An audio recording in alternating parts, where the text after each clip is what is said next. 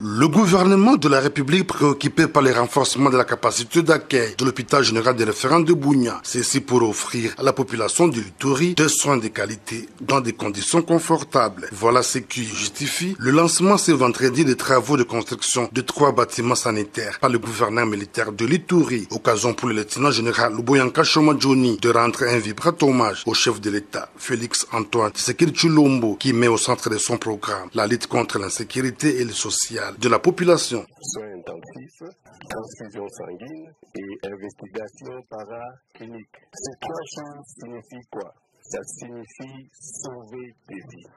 Et notre mission ici, avec mon équipe, c'est d'abord sauver les vies. Et donc, pour ceux qui ne vont pas comprendre, en Italie, nous avons beaucoup de problèmes. Nous perdons des mamans, des enfants, des jeunes gens. Mais surtout aussi parce qu'on n'a pas d'infrastructure qui puissent, n'est-ce pas, répondre convenablement et on n'a pas les soins appropriés. Aujourd'hui, je suis content, et je le répète, parce qu'on va voir encore l'Itourie en train de se battre pour sauver des vies. Je remercie euh, le, président de la République, commandant suprême, parce que c'est lui qui a permis qu'il y ait l'état de siège et qui a permis aussi que dans certaines choses, il y ait une certaine rapidité. Nous, les militaires, on n'a pas besoin de beaucoup de procédures.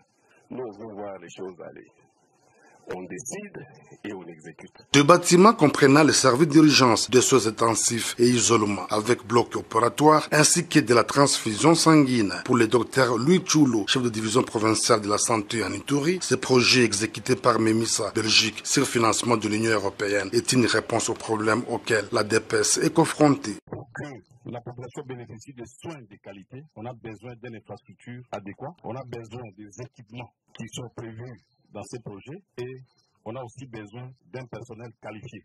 Notons que ce projet s'inscrit dans le programme du renforcement de l'offre et de développement de l'accès aux soins de santé dans les provinces de l'Ituri et du Congo central dans le cadre de réponse contre la maladie à virus Ebola et la COVID-19. Une visite guidée du chantier a clôturé cette cérémonie.